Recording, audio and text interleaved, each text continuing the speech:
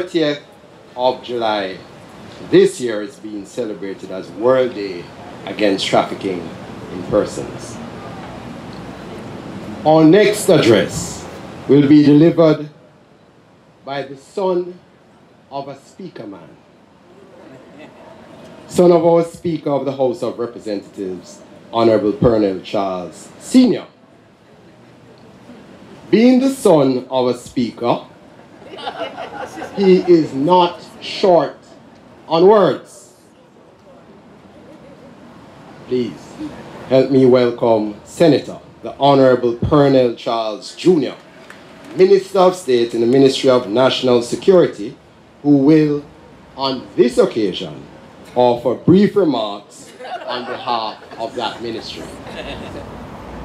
Trafficking in persons is a global crisis. It is, as was said, a multi-billion dollar industry that does not recognize geographic or political borders. It does not recognize moral law or civil law. It is only concerned about achieving the selfish goals of cold-hearted men and women who will stop at nothing to achieve their goals. It represents a very serious threat to law and order all over the world, including here in our beloved Jamaica. According to the United Nations Office on Drugs and Crime, I quote, as with other forms of organized crime, trafficking has globalized.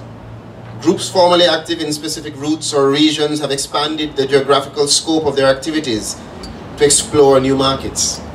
Some have merged and formed cooperative relationships, expanding their geographical reach and range of criminal activities. Trafficking victims have become another commodity in a larger realm of criminal commerce involving other commodities, such as narcotic drugs and firearms or weapons and mo money laundering. All of these that will generate illicit revenues or seek to reduce risk for traffickers. As a country, Jamaica has been engaged in a relentless battle to disrupt this criminal activity. Ms. Palmer, I don't know if you recall, sure, my former boss would also recall that she provided for me the opportunity when I was serving as a prosecutor in the Office of the Director of Public Prosecutions to be the deputy for the unit that was responsible for treating with human trafficking. So, I have an intimate knowledge of this area. The government, through the security services and other agencies of the state, has sought to identify and prosecute those, those involved, to rescue and protect victims, and to sensitize the public to the threat it presents to our citizens and to our country. The Ministry of National Security endorses the observance of World Day Against Trafficking in Persons and supports the efforts of the Ministry of Justice and the Honorable Delroy Chuck and his team, the United Nations Development Program, and all stakeholders to increase awareness of this crisis and to mobilize us as a country to fight for its eradication.